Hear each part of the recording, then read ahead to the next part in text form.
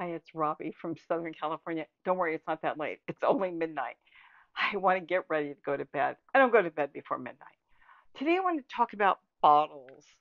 Gary thought I was crazy. For 30 years, I've been saving any medicine bottles I get from my medical. So I've been with the same company for years, the same medical team. And a lot of them, since anything we get is generic, it's always been the same type of bottle. Now, these have a little bit of flex to them. That's really what you need. And I'm going to show you in a minute what, you know what, while I'm talking, I'll, uh, let me tell you what I'm going to do. I've always wanted to use these for something. I was storing beads in them. For a while, I was doing seeds, but now I'm growing in them. And what I do is I take an empty bottle and I pour hot water in it.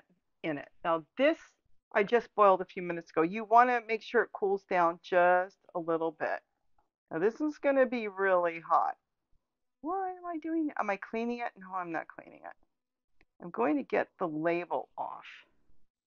And I want to do a clean peel on the label. Let's cap it so I don't burn myself. If you use water that was boiled and just as soon as the tea kettle went off, you poured it in there, it's too hot. Let it sit for a few minutes, three, four, five minutes, and then you're going to pour it into these plastic containers. All right. You can do it with these as well, but those are going to be harder to do the next step I'm going to do. And then I'll show you what happens if you do it right and if you do it wrong. If it's it doesn't matter, you can still use it. What you're going to do now is you're going to test it after you've boiled the water. What I'm doing is I'm making little seed planters. And you want to slowly see if you can peel it. Maybe my water wasn't hot enough. It's got to be hot, but not, oh no, there it comes. Very slowly peel it. Now, if if the glue does not come loose, put some more hot water in there start over again. See how now you're going to get a clean peel? If the water's not hot enough, I'll show you what happens. But this is this is fantastic. You can get the label off with no glue. You don't have to use goof off or anything to, to get the glue off. Oh, that's terrible, but it's a good product. But this is so good. Then you have a bottle. Look at that. Perfectly, whoa, clean, no glue residue or anything on there. Now you can take your label because it's got your personal information on it and you can just cut it up and throw it out in the trash. You're done with this. So now we're done with that. That can go into the trash. Now we have this. Now let me show you the other thing. I'm going to pour it back in here. I'm going to let it float for a second while I'm talking. I'm just going to, I don't know if, no, it probably won't melt the table. What I was saying is if the water's not hot enough, you won't get this clean, nice, shiny plastic. You'll have glue stuck to it, and then you're going to either deal with it, and you know what, worst comes to worst, take some paper tape, or not paper tape, but you can use paper tape. That's really good. But you can use masking tape, and then you can put it around there, and you can label it for your plants. See what happens? Once it's stuck, it's hard to get off. I'd have to re-put hot water in there and work at it, but it's not going to hurt anything. Let me show you what I use them for.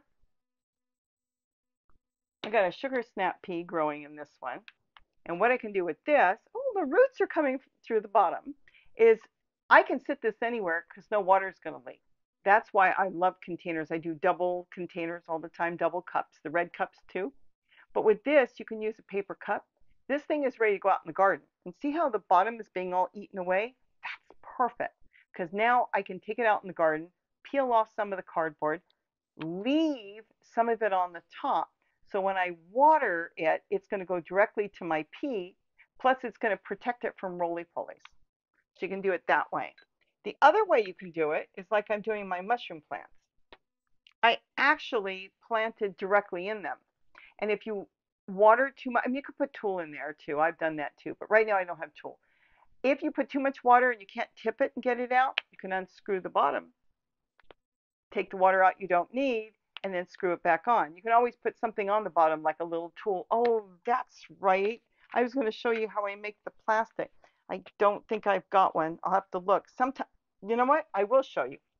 And then this one is a geranium, and I'm rooting a geranium. This is a purple, like a Martha Washington geranium. But this has been great. I mean, I absolutely love it. My mushroom plants grow really good in here. This one is a bush baby zucchini. I only wanted to try a few seeds. I'm not ready to plant that many. I've already got other zucchinis growing. So I put three seeds in here. I can separate it. And it's labeled on the cup. And I put a little paper towel in there just because you can do it whatever way you want. And then this one, oh, I've got some real little fig leaf gourd, the shark fin melon ones. They're real tiny seeds. And I wanted to see if the tiny seeds will grow. So I put a few of them in here. Now this can sit on my windowsill. It can sit here on my table. This is what I was going to show you. When you take the label off and you've got it sitting in hot water, I'm going to do a couple more, so maybe I'll do that. You can take a scissors, a small scissors, and you can just get in there. Is so great. And just cut the bottom off. Go all the way around. It can be any small scissors you want. I'm turn this around. This is fantastic.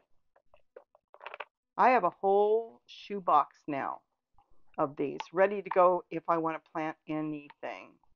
I mean, why throw them away? That's what you're supposed to do. And I know a lot of you keep them and put different things in them like seeds and stuff, but no reason to throw it away. Now I've got this. Now, remember I told you, I have bigger scissors. This is so tiny. I told you I put plastic on the bottom of some of these and then unscrew them if there's too much. You cut the disc so it's going to fit inside the plastic. Like I said, you can use tulle. If you've got tulle, you can do that.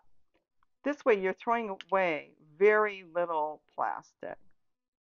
You're going to make it smaller so it's going to fit on the bottom of your container. Now I'm sure you've got other ways and you're yelling, hey, we could do it this way. Then do it your way. Really. Do it whatever is going to work. Now I've got that sitting on the bottom. If I had to open it to let water out, because I put soil in here, see, there's a plastic bottom because the disc is sitting in there. It fits perfect. Now the water will still seep through because it's cut, you know, it's not cut perfect, it's not watertight. But in the meantime,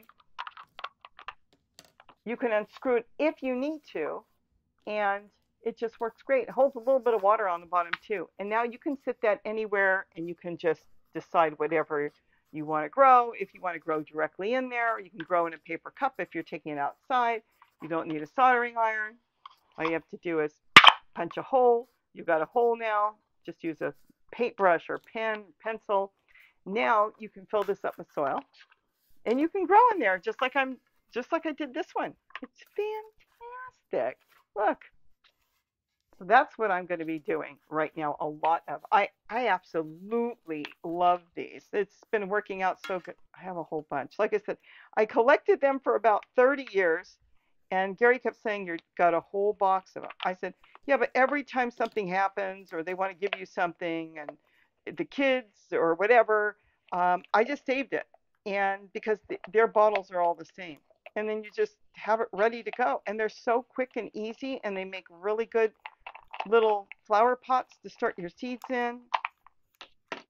And I've got them, is what it is. Now, same thing, cut this disc, put it in. If you don't want to, you can throw it out and use tulle instead.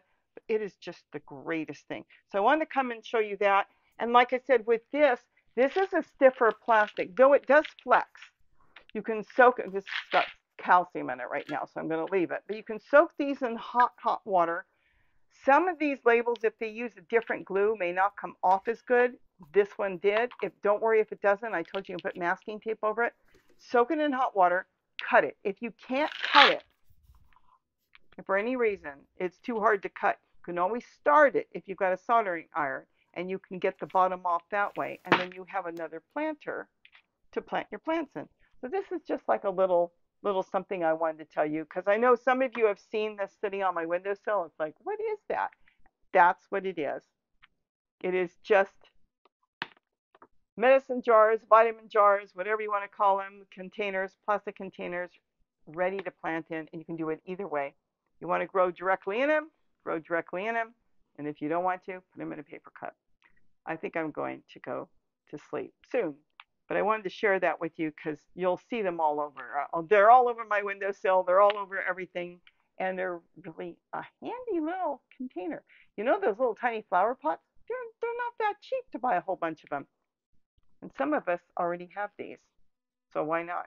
And you don't need that many. Like I said, all I wanted to do is get a couple fig leaf gourds, gourd, fig leaf. Oh, that's a tongue twister. Shark fin melon uh, to get a couple of those seeds going, and all I need is one. I don't need to get a big planter out or a big pencil box or a big uh, shoe box. All I need is this sitting on my windowsill, and then I can water it with a little warm water from the sink, and that germinates them, especially this time of the year when we're still like in the 40s at night. But my plants don't know that because the water's falling on them every night and it's warm.